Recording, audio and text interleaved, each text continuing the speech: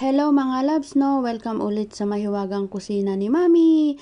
At gusto ni Mami na kayo'y maging smart. Kung ano yung nakikita nyo linalagay ni Mami sa mga video ay kailangan alam nyo kung ano na yan and be smart. Tignan nyo kung ano yan.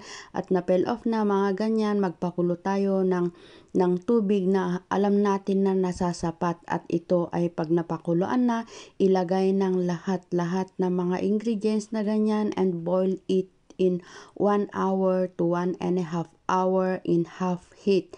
Hindi masyadong mainit. Ayan siya. In medium heat, I mean. Ganyan lang siya mga labs, no? And then, uh, lagyan, pag na,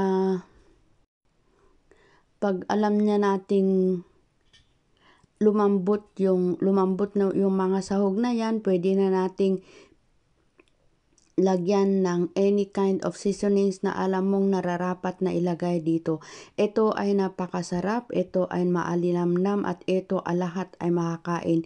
Pwede ring makain yung lotus root sa sa loob na pansahog, yung meat na pansahog, masarap-sarap yan at dagdag na rin sa mga dish natin para mas maraming ilagay sa table ng mga amo natin. Ayan mga loves, no? Tignan nyo, ang sarap-sarap kaya neto. Para sa gamot, para sa marayuma, tama ba ako? Ayan, ayan masarap. Sana'y nagustuhan nyo at sana'y may tularan kayo. This is a very simple, simple one. Pero alam kong sana'y nakatulong sa mga baguhan dyan na nagtatrabaho sa mga Chinese. O tignan nyo, ang sarap-sarap.